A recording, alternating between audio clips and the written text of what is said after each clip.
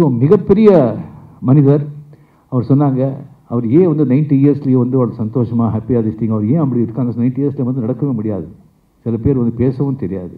இப்படி வந்து இஸ்டிங் இருக்காங்க. சொன்னது காரணமே என்னன்னு சொன்னால் கண்டென்ட்மெண்ட் அவருடைய வந்து எந்த பிரச்சனைகள் வந்தாலும் அந்த பிரச்சனையை வந்து பெருசாக எடுத்துக்க மாட்டாங்க. Take life easily do your duty seriously life வந்து ஈஸியாக எடுத்துக்கோ. உன்னுடைய கடமைகளை சீரியஸாக பண்ணு.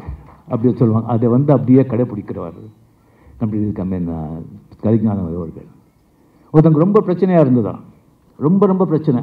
அங்கே ஒரு சாமியார் இருந்தார். அந்த சாமியார் போய்ட்டு ரொம்ப பிரச்சனை சாமி இதை தீர்க்கவே முடியல. நம்ம ஏதாவது ஒரு விடை சொல்லுங்கள் சொல்லும்போது அந்த சாமியார் அந்த மடத்தில் வந்து ஒரு மாட்டுக்கோட்டை இருந்தது. பரப்பா இந்த மாட்டில் வந்து நூறு மாடுங்க இருக்குது இந்த நைட்டில் வந்து அந்த மாடுங்களை நீங்கள் படுக்க வச்சுடு படுக்க வச்சுட்டு நாளைக்கு காலையில் வா. உனக்கு நான் விடை கொடுக்குறேன். அப்படின்னு சொன்னாங்க. சரி இந்த வந்து மார்னிங் ஆச்சு. அந்த மார்னிங் அந்த குரு கிட்ட அந்த சாமி குரு கிட்ட அந்த ஆள் வர்றா. கண்ணெல்லாம் செகுப்பாக இருக்குது நைட் நைட்டெல்லாம் தூங்கலேன்னு தெரியுறது. என்னப்பா தூங்கலையா? எங்கள் சாமியை தூங்குறது? ஒரு மாடை வந்து தூங்க வச்சா இன்னொரு மாடு எந்திரிக்கிறது. இன்னொரு மாடு நிற்குது அதை வந்து உட்காரக்கவே முடியல. இது தூங்க வச்சா அது நிற்குது அது இது தூங்குது பண்ண முடியாது. அதுதான்ப்பா வாழ்க்கை. நூறு பிரச்சனை இங்கே இருக்கும். சில பிரச்சனை சில பிரச்சனையை தீர்த்து சில பிரச்சனையை தீர்த்து வைக்காத ஆண்டவன் கிட்ட காலத்துக்கிட்ட விட்டுடு. சிலது வந்து தீர்க்கவே முடியாது. மாடுங்க சில மாடுங்க வந்து உட்கார வைக்கவே முடியாது படுக்க வைக்கவே முடியாது. சில பிரச்சனை தீர்க்கவே முடியாது.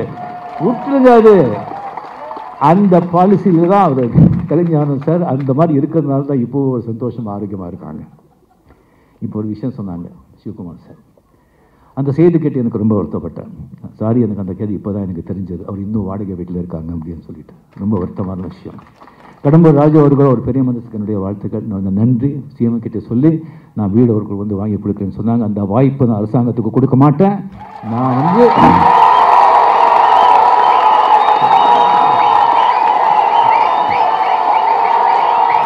அவர் அவர் உடம்புலிருந்து அவருடைய மூச்சு வெளியே போகும்போது அது என்னோட வீட்டில் தான் அவங்க போகணும் பாக்யராஜ் அவர்களே நாளைக்கே நீங்கள் அவருக்கு வீடு பாருங்கள் நெக்ஸ்ட் வித்துனால அவர் வந்து என் வீட்டில் தான் அவங்க அவர் இருக்கணும்.